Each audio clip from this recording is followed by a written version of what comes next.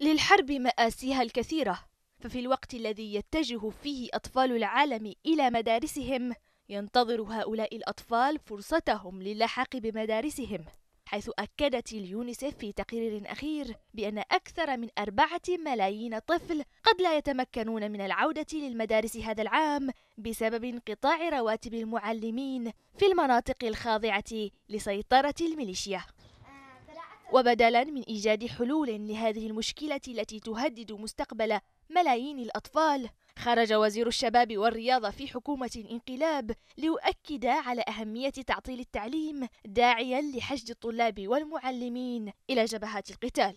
تصريح قوبل باستهجان جميع فئات وشرائح المجتمع وبالتنديد من قبل المنظمة الدولية التي أكدت على أهمية عدم الزج بالأطفال في المعارك الدائرة في البلاد داعية إلى وقف تجنيدهم أيضا.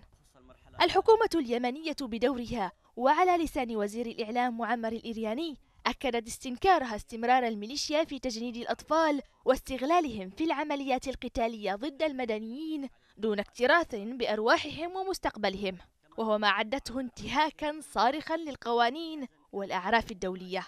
ويرى مراقبون أن الميليشيا لم تكتفي بحرمان الأطفال من التعليم في المناطق الخاضعة لسيطرتها بل عمدت إلى استغلال ظروفهم وتجنيدهم لمعاركها العبثية تجاه اليمنيين.